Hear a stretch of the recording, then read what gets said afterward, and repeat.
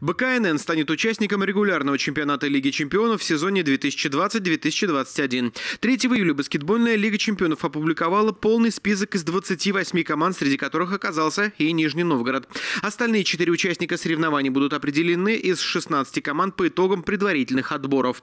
Жеребьевка квалификационных раундов и групповой стадии состоится 15 июля, а старт пятого сезона турнира запланирован на 13 октября 2020 года. При этом БКНН впервые за последние четыре 4 года начнет сезон без участия в квалификации. Три предыдущих года подряд Нижний Новгород получал приглашение только в квалификационный этап. Прошлый сезон начался с двух побед над польской лигией во втором квалификационном раунде. Нижний занял третье место в группе и в 1-8 финала встретился с французским Дижоном. К сожалению, из-за пандемии решающий матч серии был перенесен. Руководство турнира планирует завершить соревнования осенью. В сентябре-октябре будет проведен финал восьми. До него Нижний Новгород и Дижон проведут решающий матч 1-8 финала.